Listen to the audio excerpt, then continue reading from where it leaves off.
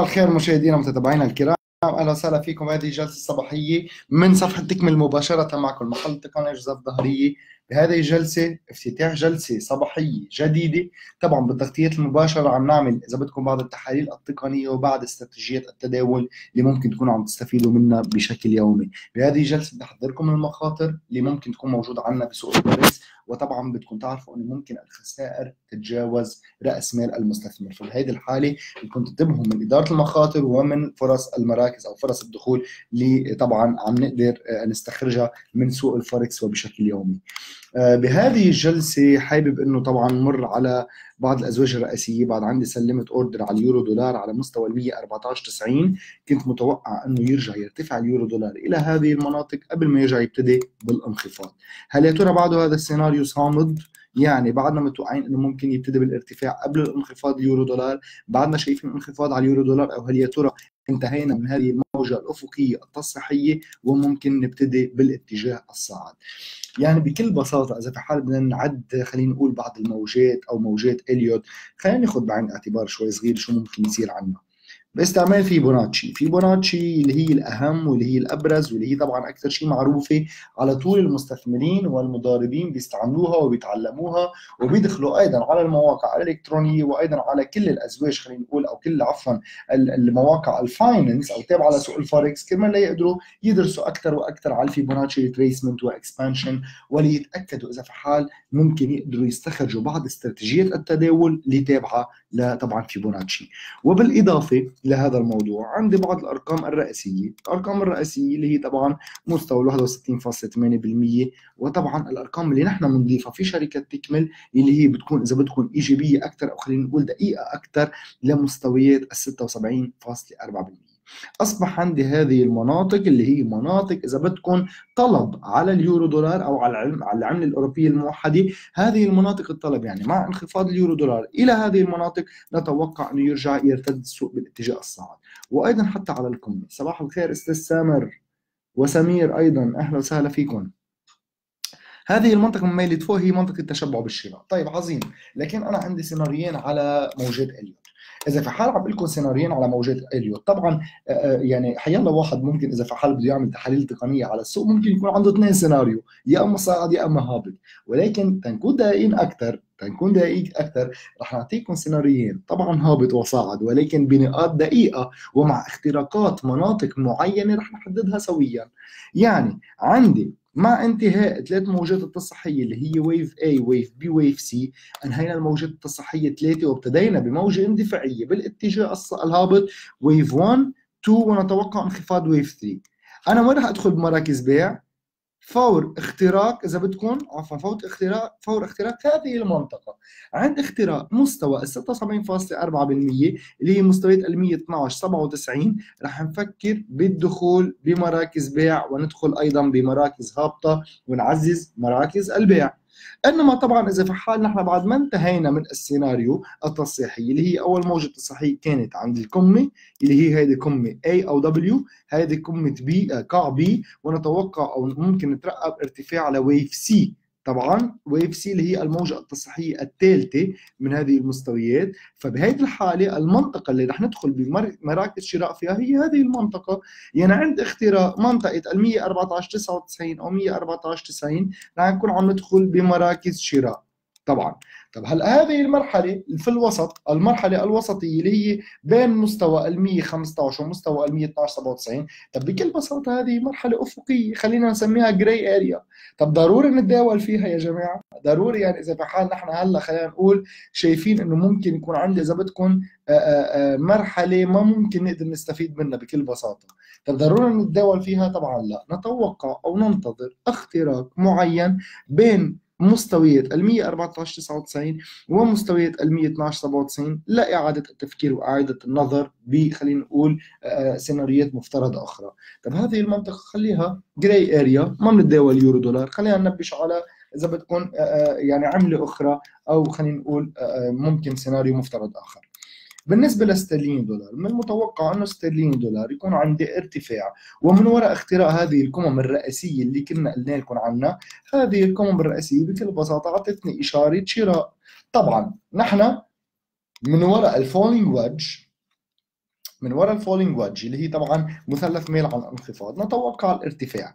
هلأ نحن بكل بساطة يمكن آه، آه، واجهنا بعض الصعوبات إذا بدكم للتفكير بسيناريوهات مفترضة على ستيرليني لأنه كنت أنا بصراحة متوقع إنه ممكن يكون عندي missing leg أو موجة ناقصة بعد بالاتجاه الهابط قبل ما نبتدي بالارتفاع. فطبعا شاهدنا الاختراق وهنا أخذنا إشارة إيجابية. وعلى طول من وراء اختراق قمم معينة مثل ما عم بتلاحظوا عندي هون كان خطوط مقاومة واضحة خطوط مقاومة. ومع اختراقها عملنا شيء اسمه إعادة امتحان ورجعنا أيضا عملنا إذا بدكم retest وخطوط المقاومة أصبحت خطوط دعم للسترليني دولار ولل GBP USD. فبكل بساطة نترقب ونتوقع على إنه ممكن خلينا نقول بالمرحلة القادمة نرجع نبتدي بالارتفاع 60 دولار لتسجيل قمم جديدة لمستوى 133.04 وحتى مستوى ال 134 هذه هذا السيناريو المفترض للاسترليني دولار okay؟ تمام؟ كل شيء تمام؟ الصوت تمام؟ الصورة تمام؟ كل شيء واضح؟ okay عظيم. لكن لكن هذه الموجة التصحيحية إذا بدكم أو المضادة خلينا نقول للاتجاه العام بكل بساطة عملنا شيء اسمه إعادة امتحان أو retest ومثل ما عم بتشوفوا من وراء اختراق خط مقاومة أصبح عندي خط دعم على هذه المستويات لاسترليني دولار. طبعا هذا الشيء ممكن يدعم إذا بدكم السيناريوهات الإيجابية على اليورو والاسترليني ولكن على المدى الوسط للقصير أنتم عارفين إنه نحن على المدى الوسط للطويل عارفين إنه ممكن يكون عندي موجة اندفاعية وموجة رهيبة بالاتجاه الصاعد للدولار الأمريكي. فهذا طبعا بيعني اختراق بالاتجاه الهابط على المدى الوسط للطويل ولكن على المدى القصير short term بجلسة اليوم بجلسة غدا كحد أقصى نتوقع إنه ممكن هلأ موجة بسيطة بالارتفاع طبعا تكون آه، نكون عم نشهدها. إنما استرليني دولار ومن وراء تيريزا ماي اللي تكلمت امبارح على الاقتصاد البريطاني وتكلمت أيضا على إذا بدكم شوي صغيرة على البريكزيت وكيف هي كانت مصرة على خروج بريطانيا من الاتحاد الأوروبي. فهذا الشيء طبعا أدى إلى ضغط سلبي على السترليني دولار ولكن مش بشكل ضخم. للمضاربين طبعا شكل يعني التحرك كان ضخم بحدود ال 100 150 نقطة ولكن بالنسبة للمستثمرين على المدى الوسط للطويل والاتجاه العام اللي كنا تكلمنا عليه من مستوى ال 124 لمستوى ال 130 طبعا بعدنا بمراحل إيجابية ولا نتوقع أن نكون أخذنا إشارة سلبية من وراء انخفاض أمس. بالنسبة للدولار ين الدولار ين وصلنا أيضا لقمة معينة وابتدينا بالانخفاض عن جديد بعدنا داخلين بمرحلة أفقية بامتياز وهذه المرحلة الأفقية ممكن تكفي على المدى الوسط للقصير ولكن طبعا عندي هدف لإلي بالنسبة لل طبعا بالنسبة للدولار ين الهدف هو إنه نرجع نزور خط المقاومة اللي موجود عندي من ميلة فوق اللي تقريبا قرب مستويات ال 110 90 أو مستوى ال 111 هلأ بكل بساطة مش بالضرورة إنه إذا في حال نرتفع ونستهدف هذا الخط المقاومة نرتفع بشكل إذا بدكم آه، خلينا نقول آه، موجة اندفاعية أو باتجاه صاعد واتجاه واحد. طبعا لا ممكن ارتفاع وانخفاض مثل ما عم نشهد هلأ انخفاض للدولار ين لمستويات معينة ومن ثم ارتفاع عن جديد فهذا الشيء طبعا ما بيؤدي إذا إذا بدكم إلى تغيير السيناريوهات المفترضة على الدولار ين وإنما بالعكس ممكن تعطيني موجات اندفاعية وهذه الموجات التصحيحية تاخذ زخم وبتجمع مومنتوم لتكفي اتجاه الصاعد بشكل أوضح. بالنسبة للدولار السويس كنت قلت لكم وكنت حذرتكم إنه الدولار السويس راح يكفي اتجاهه الصاعد لاستهداف مستوى ال 76.4% وبكل بساطة قلت لكم عندي مستويات ال 100 صفرين 30 تمام؟ 100 صفرين 30 وقربنا نوصل له قربنا نوصل لل 100 صفرين 30 أوكي؟ آه، آه، قلنا لكم ممكن نتوقع إذا بدكم تكملة اتجاه الصعد دخلنا بمرحلة أفقية للموجة الرابعة تم اختراقها إعادة امتحانها وعم بتلاحظوا شو يعني اختراق إعادة امتحان هيدا شيء مميز وهيدا شيء إذا بدكم خلينا نقول آه، لازم ناخذه بعين الاعتبار على الرسوم البيانية وأيضا على التحاليل التقنية. wave 1 موجة العام واحد. اثنين موجة الثالثة. A B C الموجة الرابعة. الموجة الخامسة. اختراق خط المقاومة اللي موجود عندي. عندي هون أول قمة عندي هون ثاني قمة هون عندي ثالث إذا بدكم مستوى ما قدرنا نخترقه هون عندي اختراق إعادة امتحان. اختراق إعادة امتحان وتكملة اتجاه الصاعد طب ما هيدي تحاليل تقنية بسيطة يا جماعة. يعني إذا في حال هلا عم نعمل إعادة امتحان طب هل يا ترى ممكن بعض الأشخاص يدخلوا بمراكز بيع؟ هل يا ترى ممكن ينغدروا ويدخلوا بمراكز بيع ويقول لي طب أنا دخلت بمراكز بيع السويسراني وهو عم يرتفع. طبعا لا مش مفروض. يعني هيدي التحاليل التقنية بسيطة. إذا في حال عم بتغلطوا بدخولكم بهيك أمور بسيطة وواضحة على الرسوم البيانية طب مع احترام للجميع ومع احترام لكل الأشخاص الموجودين بالجلسات وأيضا آه، عبر العالم مش بالضرورة إنه هذا المجال يكون مناسب للجميع. ممكن تخرج من سوق الفوركس تمام؟ طب أنا ما خلقت لكون حكيم. أنا ما خلقت لكون محامي أنا ما خلقت لكون قاضي مش لكون مهندس. ولكن أنا كنت آه، إذا بدكم بتميز بال skills اللي عندي إياها من وراء سوق الفوركس أو أسواق المال أو ال financial industry طب أنا هذا المجال أنا بحبه وبعشقه وبتداول فيه بشكل يومي عندي نظرة مميزة فيه. ومشان هيك بقدر استفيد منه. طب إذا في حال أنت ملاقي حالك إنه أنت على طول عم تخسر بسوق الفوركس بكل بساطة حدد خسارتك وخروج من المجال وخليك مريح بالك وبلا وجع راس. يعني هون الأمور التحليل التقنيه البسيطة إعادة امتحان وتكملة اتجاه الصاعد من وراء اختراع معين خط مقاومة يعني هو الأمور بسيطة جدا. ممنوع نغلط فيهم يا جماعة ممنوع نغلط فيهم. ممنوع ندخل بمراكز بيع بمناطق إذا بدكم آه، شبه أكيد إنه السوق رح يرتفع. هلا بغض النظر الدولار CAD كنت قلت لكم انتهينا من خمس موجات تمام؟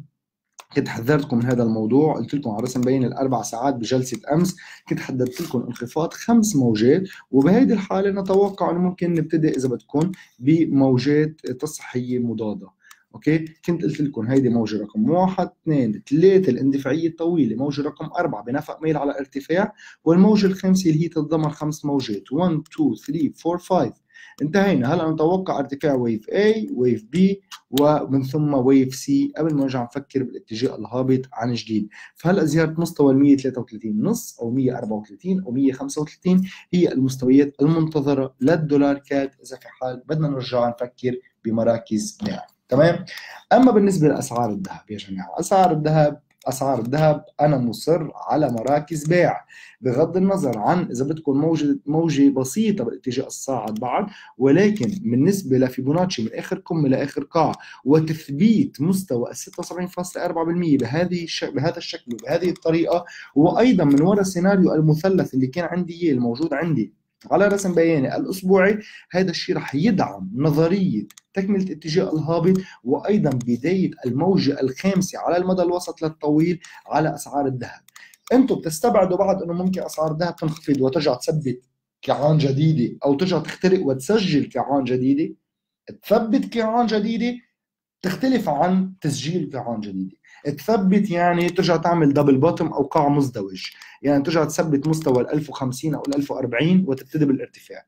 ولكن ممكن أيضا يتسجل قاعان جديدة. الموجه الخامسة تعمل extension لمستوى ال 960 و 950 وقبل ما نبتدي بالارتفاع فبهذه الحالة بيكون عندي بعد ضغط سلبي وسيناريو سلبي. على أسعار الذهب تقريبا على المدى الوسط للطويل. هلأ بالنسبة لنا هذا المثلث الموجة الرابعة ممكن يكون سيناريو مختلف اللي هو سيناريو تصحيحي أو سيناريو ABC ونتوقع الارتفاع لل 1005 وحتى ال 1006 ولكن نحن كمضاربين لازم ناخذ بعين الاعتبار إنه السيناريو السلبي وارد. ما في شك إنه ممكن أسعار الذهب أيضا تسجل انخفاض وموجة هبوط جديدة وتسجيل قاعان جديدة ما في شيء بيمنع. okay؟ هلأ بكل بساطة آه نيوزيلندي سي اتش اف ان زد دي سي اتش اف أستاذ آه أحمد أستاذ سمير آه، يعني أنا كمان بعدني أتوقع أتوقع أسعار الذهب ترجع تنخفض بشكل أساسي ولكن هذا الشيء ما بيمنع إنه ممكن طبعا السوق يرجع يعمل موجه بسيطه بالاتجاه الصاعد. لا طبعا يتأكد من إنه خط المقاومة موجود عندي قرب مستوى ال 1330 1340 كحد أقصى. آه، بالنسبة لنيوزيلندي سي إتش إف ام زد دي سي إتش إف يعني هول الأزواج وال crosses الغريبة اللي بتدخلوا فيها ما فيها volume ضخم. ما فيها volume أستاذ أحمد. النيوزيلندي CHF طب منه من العملات الرئيسية اللي عندك volume كثير رائع عليه. ليش تختار تتداوله؟ بكل بساطة ممكن طبعا نعمل سيناريو مفترض عليه ولكن حتى التحركات يعني إذا بتلاحظ إذا بتلاحظ على رسم بياني اليومي تمام؟ حتى التحركات داخلة ب ليس اتجاه عام. وليس بمرحلة أفقية وأيضا بمرحلة أفقية. يعني إذا عم تلاحظ هذه المرحلة الأفقية عم تلاحظ هذه التقلبات إذا في حال السوق بده ينخفض بده يعمل ارتفاع قبل الانخفاض. وإذا يعني كثير عندي إذا بدكم نوع من ال يعني irregular waves وموجات غير منتظمة. طب أنا إذا في حال عندي موجات غير منتظمة وأتوقع إنه هذه التقلبات على رسم بياني ما عم بقدر أحددها طب ليش لا ندخل فيها؟ يعني من مش واضح إنه ممكن يكون عندي اتجاه عام واضح بالمراحل القادمة. هلا نحن تم تثبيت مستويات مهمة آه، على فيبوناتشي مستويات 61% تم تثبيتها ومن ثم تم تثبيت مستويات ال 50% إذا عم تلاحظوا. يعني ارتفع منها انخفض ثبت ال 50% وارتفع. هلأ ممكن بعد يسجل لي قمه جديدة wave جديدة okay؟ ارتفاع. ومن ثم يجي ينخفض يسجل لي اذا بدكم القاع طبعا 38.2% مثل كأنه عم بيعمل درج بالاتجاه الصاعد تمام؟ فبهذه الحالة ممكن نرجع ننخفض ونثبت هذه المستويات ونرجع نرتفع. هلأ ما في شك إنه نحن عم نسجل قاعان وقمم اعلى من بعضها البعض. فبهذه الحالة من المتوقع إنه يكون عندي اتجاه عام ميل على الصعود طبعا. ولكن يعني ما ممكن إنه أختار هيك رسم بياني لاتداول فيه هلا باستعمال Fibonacci retracement خلينا نشوف إذا ممكن تكون موجبه لا. هلا السوق ما أغلق تقريبا فوق مستوى 88.2% ولكن لا أتوقع إنه ممكن يكون إشارة سلبية. يعني ممكن كحد أقصى موجة تصحيحية بسيطة لتكملة الاتجاه الصاعد. يعني نيوزيلندي CHF يرجع يكفي اتجاه هابط لزيارة مستوى 0.68 68.05 ومن ثم ارتفاع لزياره قمه جديدة ومن ثم انخفاض لتثبيت مستوى 0.67 فهذا السيناريو تقريبا المفترض على النيوزيلندي CHF. هلأ بالنسبة لنا يعني نتوقع إنه النيوزيلندي يرتفع مقابل الفرنك السويسري. مش غلط منا غلط ابدا لأنه نحن نتوقع إنه ممكن النيوزيلندي يكون عنده مستقبل كثير ضخم وعلى المدى الوسط للطويل إنه يكون عنده إشارة إيجابية على هذا الزوج بالذات وبما إنه طبعا نيوزيلندا دولارهم من العملات اللي تلقب أو عنده high yield currency. high yield currency أنا عم نتكلم على تقريبا عملة بتقدم فوائد أكثر من غيرها وهذا الشيء صرنا عارفينه وعم نعيده بكل آه، جلساتنا الصباحية. آه، خلينا نشوف الاسترليني دولار الاسترليني دولار عم بيرتفع. عظيم عظيم. okay. ابتدينا إذا بدكم بال recovery من ورا استرليني والانخفاض تبع جلسة أمس كنا إذا بدكم آه، كانت الأمور خطرة جدا بالنسبة كانت الأمور خطرة جدا بالنسبة لبعض السيناريوهات المفترضة على خلينا نقول استرليني دولار وكل الأشخاص كانوا متوقعين إنه يكفي اتجاهه الصاعد قبل ما يبتدي بالانخفاض ولكن تيريزا ماي أصرت إنه تعمل له ضغط سلبي للباوند ليرجع يثبت قاعان ومستويات مهمة. إذا بتلاحظوا بتحطوا بتدخلوا خط دعم على هذا المستوى للباوند بتعرفوا هذه مستويات مهمة جدا. شو يعني مهمة جدا؟ عملوا zoom out لورا. بتلاحظوا بكل بساطة إنه هذا القاع اللي تم تثبيته بجلسة أمس على الباوند دولار okay؟ هو نفسه عفوا خلينا نكون دقيقين شوي هذا القاع هو نفسه أيضا كان عندي قبل ملامسة معه وأيضا هون كمان وأيضا هون وأيضا هون. فبتلاحظوا إنه هذا خط مهم جدا وصلب جدا للباوند والاسترلين دولار. إذا في حال بدنا نرجع نفكر طبعا بإشارة شراء عن جديد من هذه المستويات أو من هذه المناطق الحالية. فما في شك إنه ممكن نرجع نرتفع ونسجل قمم جديدة Okay؟ ما في شك وطبعا هذا الشيء وارد جدا جدا جدا. بالنسبة للمؤشرات الأمريكية ما حدا يفكر بمراكز البيع.